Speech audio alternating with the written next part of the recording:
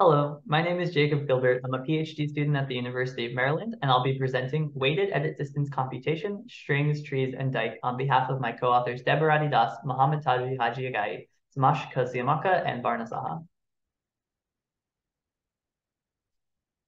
So first, I'll just define string edit distance. Uh, given two input strings, x and y, we want to know the minimum number of character insertions, deletions, and substitutions needed to transform x to y. Uh, so we have an example here. We have an input string x at the top and an input string y. And what we can do is we can try to find a alignment between them that tells us what the edit distance is, the minimum edit distance can be. So here is an optimal alignment. Um, and what it says is that we're going to end up deleting this b in x we're going to do one substitution to change this b to an a, and then we're going to want to insert an extra b at the end of x. And since we did one deletion, one substitution, and one insertion, we have a total edit distance of three between x and y. All of the uh, diagonal, or sorry, all of the black lines between x and y correspond to a perfect match. Since they're the same character, they don't have any cost. So that was an example of unweighted edit distance. And in this paper, we consider the weighted variant denoted with a superscript W. Uh, so given some sort of weight function on the alphabet sigma uh, union with the empty character epsilon, now we can define uh, the weighted edit distance as the minimum cost of transforming x to y using character edits where the character edits have a cost. Uh, so insertion has a cost of w of epsilon and then b if we're inserting b deletion on character A will then have a cost of W of A comma epsilon. And then substituting A for B will cost W of A comma B. And we can think of the rest of the table using this chart. So for the unweighted edit distance, uh, it's the same as the weighted edit distance using the discrete metric written here. So every deletion, insertion, and substitution just costs one. And so we still have an edit distance of three, even in the weighted case. But we're also now allowing for other types of weight functions as well. So now deleting B could cost three and substitutions could cost two now. And so if we again look at the same alignment, it's actually become a lot more costly since it does two, uh, one insertion and one deletion on B, and also a substitution as well. So potentially uh, between the unweighted and the weighted edit distance, the optimal alignment can change. So maybe this is a much better alignment now. So we do a lot more deletions and insertions of A since that still just costs one. And we unfortunately still have to do one substitution of cost two. But in total, the edit distance has become six in this new weight function. So uh, this problem is a pretty classic problem in the literature. It was first discovered that there's a dynamic programming solution that takes quadratic time. And this result was discovered multiple times in the 60s and 70s. And it actually also works for the weighted edit distance, not just the unweighted edit distance. But if you are working with just the unweighted edit distance, then there is a small improvement that was made in 1980 uh, that runs in time of n over log n quantity squared. So just a little bit better up to some polylog factors. And it turns out that we're not really going to do better than quadratic time because there's a matching lower bound up to subpolynomial factors conditioned on the strong exponential time hypothesis, specifically the orthogonal vector conjecture. And this also holds for the weighted version of the problem as well. We actually consider not just the weighted edit distance, but specifically the bounded weighted edit distance in our paper. So this is when you are provided some integer k that is going to upper bound the edit distance between x and y. And if you know what k is, then it turns out that there's actually an O of nk time algorithm that we use as a subroutine in our own algorithm. And Landau and Vishkin actually improved this to show that there's actually a, a runtime of an additive factor in k, so n plus k squared time algorithm, using the same dynamic programming approach, but um, complemented with some extra analysis using suffix trees and monotonicity. Uh, and then it's also sort of folklore uh, knowledge that you can't really get past anything better than n plus k squared up to subpolynomial factors in k conditioned again on SETH and orthogonal vector. So one thing we want to note is that the condition that the weighted edit distance is bounded by k can be meaningless because uh, we could just scale our weight function to be so small that it's guaranteed to be uh, that it's guaranteed that the edit distance is smaller than k, and so this bound on k doesn't really tell us anything. So what we're going to say is that all of our weight functions are normalized, which means that the any edit is going to cost at least one. And so now again, if we look at those bounded edit distance algorithms, uh, the O of nk time algorithm still works in the weighted variant, but the Landau-Vishkin algorithm only works for unweighted. edit distance, and the folklore lower bound still holds as well. So now in this work, our, our first result is going to be that there is a bounded weighted string edit distance algorithm that runs in time O of n plus k to the 5. And it is actually the first algorithm that runs in n, or the first weighted edit distance algorithm for strings that runs in n plus poly k.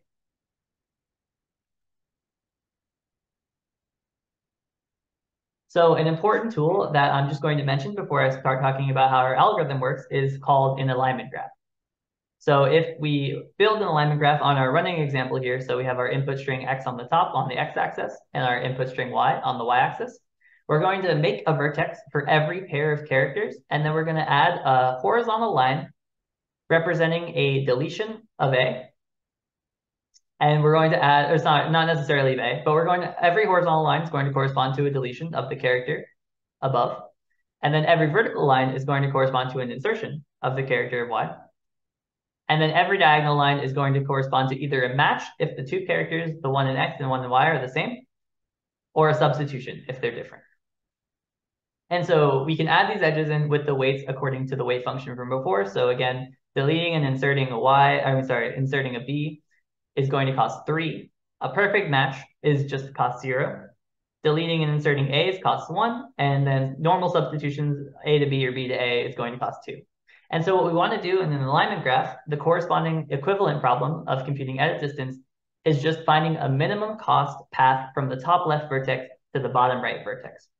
So again, using our running example, if we want to look at this alignment where we make a couple edits on A's and one substitution, we can actually translate this exactly onto the alignment graph. First, we match the B, we insert an A, we do a bunch more matches, we do our one substitution, and then we do a couple more things following the alignment from there. And so every path in the alignment graph corresponds to an alignment, and the minimum cost path in the alignment graph corresponds to the optimal alignment between the input strings. And actually, the simple improvement uh, that we can make if we know k, which bounds our edit distance, is we only have to commute, uh, compute k diagonals. Since every horizontal edge and every vertical edge adds one to our edit distance, if after the kth diagonal, we know that anything further, anything to the right or anything below, uh, is going to require k plus one edits, and it's going to be larger than our bound on our edit distance. So for this example, we know that the edit distance between x and y with our weight function is six. We don't have to compute anything past the sixth diagonal. And so this is why there is a simple O of nk time algorithm using the dynamic programming solution. And so uh, in our own algorithm, we're going to be looking at the how the alignment graph works in the weighted setting. So now let's talk about this O of n plus k to the 5 time algorithm for bounded weighted string edit distance. So again, uh, this on the right is going to be sort of an abstracted alignment graph. So the x-axis is still input string x, and the y-axis is still input string y. We don't know what they are anymore. They're general. And then this blue line is going to correspond to an alignment or a path through the alignment graph. So since we normalized our weight function, the edit distance, uh, the unweighted edit distance between x and y is going to be bounded above by the weighted edit distance because the weights of all the edits in the weighted variant are at least one since the weight function is normalized. And so our first step is actually going to be building an optimal unweighted alignment between x and y. And we're going to let this blue line represent this optimal unweighted alignment between x and y for now. And so what does this optimal unweighted alignment that we get tell us? Well, it's going to allow us to decompose x and y into uh, O of k characters and the fragments between and around them. So uh, synchronized fragments are going to be defined as given two substrings in x, uh, one in x and one in y. They're k synchronized if they are within, uh, if their starting indices are within k of each other, and the substrings are exactly the same. And so we could divide this unweighted alignment into uh, perfectly matched synchronized fragments, these blue parts, and then edits. So maybe a substitution, uh, vertical lines represent insertions, and the horizontal lines represent deletions. So all the red are edits that are made by the uh, optimal unweighted alignment, and all the blue sections are synchronized fragments that are perfectly matched.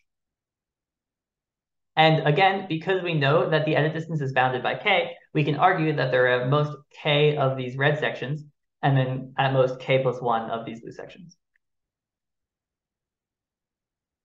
Now we want to take this unweighted alignment that we have, and we want to sort of build or see how it interacts with an optimal weighted alignment. And we'll get, we're going to zoom in to just a single synchronized fragment that we got from our optimal unweighted alignment and see how it uh, interacts with the weighted alignment. So let this green line represent a optimal weighted alignment between X and Y. Well, the first thing we're going to say is that this specific weighted alignment is impossible to even have.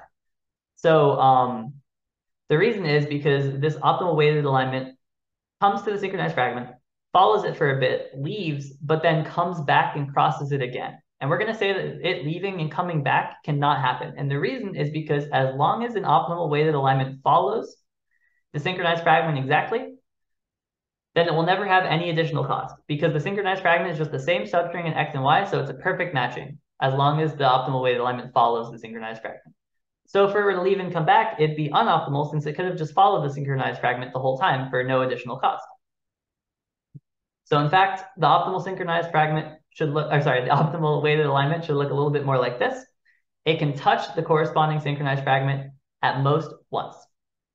But that does leave room for never touching the synchronized fragment. This is possible completely, that the synchronized, I'm sorry, the optimal weighted alignment never actually even overlaps the synchronized fragment. This is also fine. So what can we say in this case? Well, uh, let's look a little bit at this large perfect match section. So the optimal weighted alignment uh, does not require any edits in this large green area here. And so this, this, this uh, substring in Y is going to perfectly match this first green substring in X. And if we also look at the synchronized fragment, we can look at the same substring in Y and see where it projects onto an X, and we can see that the second green bar, this green substring in X, must be the same as the first green substring in X, which means that the synchronized fragment has some periodicity going on. So these green sections must be contained in one large periodic substring in this synchronized fragment. And so what we can say is that every synchronized fragment of X and Y uh, that never touches an optimal weighted alignment must consist of at most 3K pieces with periods less than or equal to 4K. And that is because if the optimal weighted alignment does not follow the synchronized fragment, then it must use at least one edit to transition between each periodic piece with a unique period. So we're going to say that pieces of this fragment in X and Y are uh, have unique periods. And so the optimal weighted alignment requires at least one edit to transition between each piece if it does not ever follow the synchronized fragment itself. And so this is really useful. Now we can actually make this lemma here that says that an optimal weighted alignment matches synchronized fragments except for a prefix and suffix of 3K pieces with periods uh, at most 4K. And so let's say that uh, this prefix in the synchronized fragment is composed of 3K pieces, and the suffix is composed of 3K pieces. Well, it must be the case that somewhere the optimal weight alignment starts agreeing with the synchronized fragment. And since we said that it touches the synchronized fragment at most once, well, it has to overlap the synchronized fragment for the whole time. And so now we can sort of guarantee that these characters in the middle of the synchronized fragment must be matched by any optimal weighted alignment. If it has, if the synchronized fragment has a long prefix with many pieces and a long suffix with many pieces, then it's guaranteed that any optimal weighted alignment will match the characters in the shaded region uh, at no cost. And so if we just formally define our bounded weighted edit distance uh, as sort of exactly the weighted edit distance, if the weighted edit distance is at most k and infinity otherwise, what we can say is if we remove this, this shaded region from x and y completely, then the bounded weighted edit distance will not change at all. And of course, it's important we know K, the reason we're working with bounded weighted edit distance, because otherwise we wouldn't really have uh, any ability to bound the number of pieces that we're looking for in our prefix and suffix. That's sort of where the K comes in, as well as for the period length. And so now, if we remove all of these shaded regions, we can assume that uh, X and Y is decomposed into K squared characters and synchronized fragments with small periods. And the reason is because um, we originally had k synchronized fragments from the unweighted alignment, and we've removed all the middle sections, and so what's left is prefixes and suffixes of k pieces. And so we have k pieces per synchronized fragment, and there's k synchronized fragments, so that's going to be k squared total. So what are we left with? We're left with uh, synchronized occurrences. We'll, we'll call them synchronized occurrences. They're basically just synchronized fragments of periodic substrings in X and Y. And so what we want to look at is how does an optimal weighted alignment interact with these periodic sections? Um, and so these periodic substrings are going to be denoted as Q to the E. So Q is our period string, and E is the number of times it's, it's repeated. E is going to be called the exponent. Uh, and we also assume that uh, we're working with Q as the primitive period of this periodic substring. The period means that there is no smaller period. So if let's say Q has a length of five, then uh, this synchronized fragment does not have a period of length four, three, two, or one. There cannot be anything smaller. Q is the period primitive period of this synchronized fragment. And so now there's a lot of blue diagonals that we could follow in an optimal weighted alignment that all have cost zero since uh, we could really start at any uh, period of x and start matching at any period of y in this synchronized fragment. But let's say, uh, in the worst case, that the optimal weight alignment doesn't follow these zero cost uh, matchings of periods at all. It's somewhere in between these diagonals. Well, we're going to argue that this actually, again, can't really happen. And the reason is because um, if we do the same trick we did earlier, we take a look at one of these long, perfectly matched sections of green in our optimal weighted alignment. We take one substring in Y and we project it onto X using our optimal weighted alignment as well as one of the neighboring diagonals. We'll notice that there should be some periodicity going on. Of course, we already know that Q is a period, but because the optimal weighted alignment does not agree with any of these diagonals, it would mean that there's actually an even smaller period than Q. But that contradicts our assumption that we're working with Q as the primitive period of the synchronized occurrence. This is actually not even possible. What that means is that after Q consecutive characters, uh, if there are any more matched characters according to our optimal weighted alignment, they must be matched canonically or according to one of these diagonals. So this optimal weighted matching must eventually agree with one of these diagonals if it's going to match more than Q consecutive characters.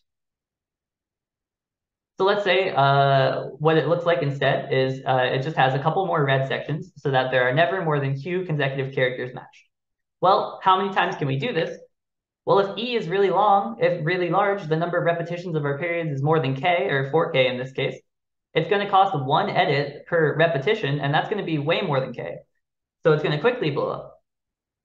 That means eventually, after K um, edits, the optimal weight alignment has to agree with the synchronized fragment. At some point, it must overlap a synchronized, uh, sorry, one of these blue diagonals. We don't really ne necessarily need to even know which one because all of them are corresponding to repetitions of Q, so they all kind of look the same in our strings X and Y. But at some point, it must overlap if the number of repetitions is more than 4K. Oops. And so what we can say is we can sort of do the same thing we did earlier. We can take one middle section of these repetitions and just completely remove it uh, like I said, we don't really even need to know which section specifically because all these repetitions of the Q are the same. And instead, we can just reduce the exponent of 4K to of greater than 4K to exactly 4K without changing the bounded weighted edit distance at all. And so now, not only have we removed the middles of synchronized fragments that had many pieces, we've also uh, re reduced the exponent of any of the remaining periodic pieces to be small. And so with these two steps, with these two reductions, we sort of get a universal kernel of our original input strings that are a lot smaller that we can solve the problem on instead. Specifically, uh, we give sort of a main result in our paper. There is an O of n time algorithm that given our input strings x and y and our bound on our edit distance k, can construct strings x prime and y prime of length O of k to the 4, such that the bounded weighted edit distance of x prime and y prime is exactly the same as the bounded weighted edit distance of x and y. And this holds for every normalized weight function W. And so just to summarize again, what we did is the first step, we uh, constructed an optimal unweighted alignment to decompose x and y into sort of k characters that are edited and then k synchronized fragments. And then for each pair of synchronized fragments, if it had a really long prefix of at least 3k pieces with small period, and if it had a long suffix of at least 3k pieces with small period, then we could just remove all of the middle characters from x and y without affecting the bounded weighted edit distance, And then for all the remaining pieces, if they're periodic with a large exponent, we can just reduce that exponent to 4k. And we, we're left with a kernel of size k to the 4. And then we can just run our O of nk time dynamic programming algorithm on that. And is now k to the 4. So this just gives us a k to the 5 time solution. And it took O of n time to construct the kernel. So in total, this is O of n plus k to the 5 time. And that is our bounded weighted string edit distance algorithm in O of n plus k to the 5. Now the paper also uh, is equally divided into tree edit distance and Dyck edit distance alongside string edit distance.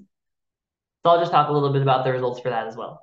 Um, tree edit distance is the problem of transforming labeled, ordered, and rooted forests into each other uh, using the same edit operations. So maybe we want to know how to transform this first forest into the second forest optimally. Well, we're still allowed to substitute the labels of nodes now we can also insert nodes.